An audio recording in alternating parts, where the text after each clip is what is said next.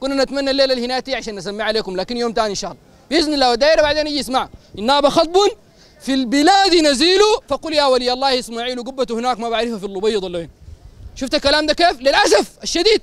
نفس المنهج بتاع القساوسه جيب صكوك غفران عشان ندخلك الجنة أدفع قروش. نفس الفهم. تمشي تشتري الحجاب تشتري المحايات وتزعل الشيخ يبارك لك فيها بتفه ولا بزاغ ولا أي كلام فاضي عشان شنو؟ عشان تعمل لك كده. وقبل فترة بسيطة.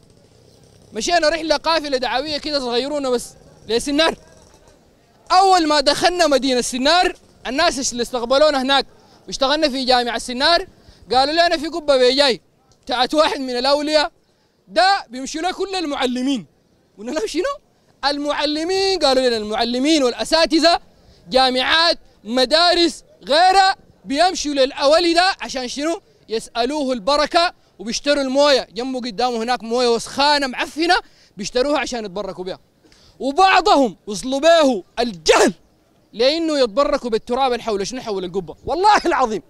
وأنا كان ما قالوا لي الكلام ده. ناس البلد ذاته الله يكاد لا يصدق. يعني الحياة دي بنشوفها بس بالصور فاكرينها زمان. لكن ما زالت هذه الأفكار وهذه الصنائع لا يوم الليلة. يا جماعة اساتذه إذا كان ده على مستوى المعلمين والمدرسين أستاذ جامع برف ولا غيره يمشي يتبرك له بتراب ها باقي لك تاني البلد دي نافع فيها شنو؟ ده المربي. ما بالك بشنو بل بيربوه؟ حيكون حاله كيف؟ فدي حاجة بقت فظيعة جدا. تمام؟ مشينا بدل ما ندعو الناس لقينا الطلاب هنا خشينا المسجد لقينا المسجد الصف ما تام صف واحد ما تام صلاة الظهر قاعدين قريب الساعة. ما في دخلوا الصلوا كلهم ما فوتوا ال 20 30 نفر. بدل ما نجي ندعو الناس للأمور دي من الإسلام وننبههم على أهمية الصلاة بقينا نقول للناس يا ناس ادعوا الله وخلوا الاولياء يا ناس الميت في القبر ده ما ينفعكم ادعوا الله براو. وللأسف الشديد ناس ما عاجبنا الكلام. كيف؟ تجي انت تقول لنا نحن ما نتوسل بأبونا الشيخ ما راضين. ليه؟ لأنه معتقدين فيه النفع ومعتقدين فيه الضر دي. عقايد قاعدة معاكم أنا أديتك مثال على سنار وأنا من الجزيرة. كل جزيرة إلا من رحم ربي أهاليها كده. للأسف والله. أنا متربي تربية صوفية وعارف الكلام ده كويس. وأي زول من منطقة الجزيرة بكون عارف الكلام ده. عارف إنه يكاد أغلب سكان الجزيرة عندهم أعياد ومواسم بيمشوا يزوروا القباب والأضرحة يتبركوا بها من شنو؟ يتبركوا بها ويسألوها النفع والضر. ودفع الضر. ده حال ده واقع بتاع مسلمين. وهذا الإفراس حيؤدي بكل تأكيد زي ما في فرنسا ويصل الحال بين النصارى بأنهم يكرهوا هذه الأمور ويكرهوا الكنيسه ويكرهوا الدين حيصل الحال كذلك. بالمسلمين بعد ما يعرفوا إنه ده لا بينفعوا ولا بضروا قد قد نصل للحالة بتاعتهم دي. نكره الإسلام؟ يا أخي نحن نجعل ديننا كله معلق بناس ميتين؟ زول مات صالح ما صالح كده خليه. يشيلوه يغسلوه يقلبوا بيجاي وبيجاي ينظفوه وبعد شوية يلفلفوا لك بيدلقان يكفنوه ويشيلوه بالبوكسي بالعافية يشيلوه شيل. يخطوا جوا قبر ابنه فوق له قبه ويجي يقول له يا الشيخ تفزعنا ويا الشيخ تلحقنا. ده حال عليك الله يستدعى أقول كيف. تمام؟ فدي حاجة قاعدة عندك في في بلدك هنا. حيصل الحال بعد ما يجي يدعوا الميت وما ينفعهم وما يضرهم إنه يكرهوا الدين. حيكرهوا شنو؟ حيكرهوا الشيخ؟ حيكرهوا الإسلام لأنه مفتكرين إنه ده الإسلام كده. فقد تصل الدرجة نفس ما وصلت في فرنسا هناك وفي غيرها من البلدان لأنه الناس تكره الدين. عرفتها ده كله شنو؟ من هنا بعد تظهر المفاهيم العلمانية. من هنا بعد ده الناس تبدأ تكره الدين وبتبدأ تظهر المفاهيم بتاعت فصل الدين عن الدولة. عشان كده لابد تتحارب الأفكار دي. لابد طيب نرجع لموضوعنا العلمانية. فصارت كذلك العلمانية بدأت تخرج مفرزات الناس دي خلاص فصلت من الدين. يبقى أول حاجة دعت لها العلمانية. ما أنا فصلت الناس من الدين. الدين شنو بدل الدين ده؟ يعيشوا عليه. أول ما دعت له العلمانية الحريات. فتحت للناس الباب بتاع الحريات في كل شيء. ويتأثر بالمناهج دي ليوم الليلة حتى شباب المسلمين. حرية في كل حاجة يعني ما تقيدك أحكام شرعية. وشوف أنا بديك معلومة. لأنه الآن في ناس متأثرين بالعلمانية. عارف كيف؟ لما تيجي مثلا يقول لي زول مثلا يعني مثلا تيجي مثلا تلقى لك زول تنصحه تقول له والله يا أخي النبي عليه الصلاة والسلام أمر باللحية. قل له يا أخي أنتوا أي حاجة دار تحللوها وتحرموها دي من مفرزات العلمانية. كيف؟ لأنه الناس بقت دار تتحرر من مفاهيم الحلال والحرام وداير تمسك في شنو؟ في حرية. يا أخي أنا من حريتي. اعفيها ما اعفيها ما عندك شغلة، النبي قال لك اعفيها ونهاك عن إنك تحلقها الناس بتقدر تقدر تتحرر من المفاهيم دي. طيب الكلام ده نحن في الإسلام بنعالجه كيف؟ بنبين للناس إنه يا مسلم الإسلام ما فيه فصل للدين عن الدولة. كيف يا مولانا؟ أي حاجة يا جماعة عادة ولا عبادة ولا غيره ما بتخرج من خمسة أحكام في الإسلام. عشان ما تقول لي بعدين ما أي حاجة حلال وحرام. لا أي حاجة حلال وحرام ومعاه تاني ثلاث حاجات كمان. أي حاجة يا مسلم تتعرض لك في حياتك الدنيوية واحدة من خمسة أحكام ما بتطلع منها.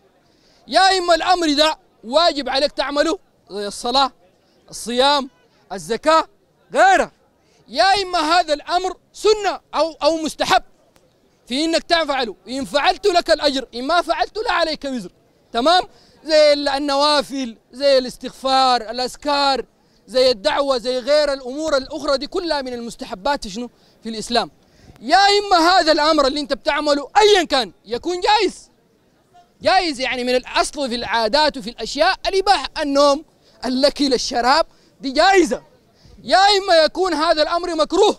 كيف؟ انه النبي عليه الصلاة والسلام أو ربنا تبارك وتعالى كره لك هذا الأمر والمكروهات كثيرة جدا. مبينة في السنة وفي القرآن. أو يكون هذا الأمر حرام. عرفت يعني أنت يا مسلم. تمام ودي قاعدة والله بتريحك في الدنيا دي راحة. لو دار تبقى مسلم بجد. وتعيش على الكتاب والسنة هذه الخمسة أحكام دي قدامك. أي حاجة تقابلك وتواجهك ما بتطلع من الخمسه لو في زول عنده فهم تاني غير كده بعدين ممكن يجي داخلنا. وهذا المنبر يا شباب ليكم أنتوا منكم وليكم. المنبر ده ما حقنا نحن. كاتبين التوحيد والسنة اسم. لا أنصار سنة لا أنصار مهدي لا كيزان لا شعبي لا غيره ولا تابعين لأي جماعة. بس شباب معاكم في الجامعة وآخرون من برا الجامعة جايين ينبهوكم الصح كده الغلط كده قال الله قال الرسول السلام عليكم. ما في أي حاجة لا عندنا لسته لا عندنا استمارة لا غيره. كان في زول متعشم فينا والله يمشي ساي. ما عندنا أي حاجة بس دعوة ساي كده قال الله قال الرسول وماشيين زاد. أنا شغال ذاتي بجاي مستعجل. تمام؟ يبقى الحاجة دايرين نبينها إنه طو طلعت لي بالمعلومه دي انت بترتاح العلمانية ثانية بتدخل لك في راسك. كيف؟ إنه أي حاجة يا مسلم في حياتك بتطلع من الخمسه أحكام. طيب أنا الخمسه أحكام دي اجيبها من وين؟ أرجع للكتاب. أرجع للسنة. تمام؟ أي أمر يواجهك في حياتك ما بيطلع. يا إما هذا الأمر واجب يا مستحب يا جائز يا مكروه يا حرام. ما بتطلع من كده. انتهى الموضوع. طيب فقلنا أول المفرزات بتاعة العلمانية عشان نفتح الفرصة إن شاء الله للمتحدثين من بعدنا ألا وهي إخراجات شنو؟ الحريات. حريات تعرف أنا أختصرها لك؟ يا هو جنس الحاصل في الجامعات دي. كيف يا مولانا؟ البنات ماشيات كاسيات عاريات. الشباب إلا من رحم الله دياثة وقلة أدب وتضييع للزمن. شباب يرسلوا مهاليهم من بيوتهم عشان يجوا الجامعة يقروا يعدوا الجامعة كلها خلص في البنات وانتهاك في الحرمات ونسات ما أمر بها ربنا تبارك وتعالى بل نهانا عن النبي عليه الصلاة والسلام. تلقى اثنين متلمين ما خلوا نجيله هنا في الجامعة ما قطعوها يا ناس أنتوا الحاصل شنو؟ أنتوا في شنو؟ كذا الناس اللي بيخلطوا. المعدينها في الجامعات خلط ومعدينها في الجامعات ونسات مع البنات وما خلى لبت ناس إلا وقعد معاها وغتصل الدرجة لإنه ينتهك حرماته. وأنا بتكلم ساي. أنا قاعد في الجامعة دي خمسة سنه وتخرجت السنة اللي فاتت دي. والله البلاوي اللي سمعناها في الجامعة دي يمكن انت ما تكون عارف. أنا بعرف أحد مساعدين. تدرس في الجامعة دي بدون ذكر أسماء؟ قال لي إنه في بعض في واحدة من المحاضرات أو المتابعات مع الدفعة بتاعت ميكانيكا بدون تسمية قال لقينا شاب قاعد مع واحدة قاعدة كده مخلة قلت له مخلة كيف يا أستاذ؟ قال لي خليها ما بشرح لك قلت له في المحاضرة قال لي في المحاضرة عملت شنو؟ قال لي سقنا الولد ده وديناه المكتب الحاصل شنو ما الحاصل شنو؟ الولد ده بقى يبكي يا زول مالك؟ قال والله أنا واقع في مشكلة في شنو؟ طلع الجزلان بتاعه أداه للأستاذ فتح الجزلان لقى فيه أكثر من 20 ورقة. مشروطة من الكراسه الورقة دي فيها أكثر من 20 قسيمة بتاع الزواج عرفي. هنا في الجامعة دي معك وأنا ما بكذب عليك. ولهذا الكلام على ضمانة الأستاذ اللي قال لي كده. أكثر من 20 ورقة قال لي أكثر من 20 ورقة زواج عرفي. يجيبوا نفرين من بجاي تلقاهم شيوعيين ولا علمانيين ولا أي اثنين وسخانين. يجيبوهم يقعدوهم. يقول له والله خلاص زوجتك نفسي ولا وقبلت بالزواج. أرح. يمشي بعد ذاك عرفي والله العظيم للدرجة دي. والآن نسبة الزواج العرفي في الجامعات المصرية حصلت 62% أدخل هناك في المواقع بتاعت التربية. 62% من الجامعات المصرية تصل فيها درجة الزواج العرفي للنسبة الكبيرة دي. يعني أكثر من نص الجامعة متزوجين عرف. والله دي حاجة يا جماعة. وبعد شوية بنحصلها. والله العظيم بالطريقة دي وجنس اللبس الحين في الجامعات دي الله يستر ساغي الله يشدوا حيلكم بس. الناس ال- الماسكين في ربنا قوي يشدوا حيلكم والله. شدوا حيلكم كويس. كويس فالكلام ده يا جماعة والله عيب. عيب. عيب والله يصل بين الانحطاط لأنه تلقى لك ولد وبنت متلصقين في بعض. ولو جيت نهيتهم عن كده يقول لك يا مولانا ما تشدد ما تشدد الشدد في شنو يا ناس؟ يا أخي ربنا نهاك. أول حاجة أمرك تغض من بصرك. قال تعالى وقل للمؤمنين شنو؟ يغضوا من أبصارهم ويحفظوا فروجهم. وقال للبزات شنو؟ وقل للمؤمنات يغضضن من أبصارهن وشنو؟ ويحفظن فروجهن. الغض البصر ده كيف يا ناس؟ وروني. ده, طبعا الترابي طلع عليهم فتوى. الترابي ده أكبر مجرم. ها؟ دخل على السودان. والله العظيم. أفسد ما أفسد. قال الترابي عشان يبيع عشان يبيح للناس الاختلاط ويلملم كيزان. قال لا بأس. بين الأخ والأخت أن يجلسا مع بعضهم البعض. طبعا بتاع فلسفة كده ويعمل لك يدينه. تقول قايل مفكر ما عنده أي حاجة. نكشفه لك إن شاء الله. قال لا بأس بين الأخ والأخت أن يقعد مع أحدهما مع الآخر. وأن يحاكيها عن نفسه وتحاكيه عن نفسها. يا زول. أهو تاني.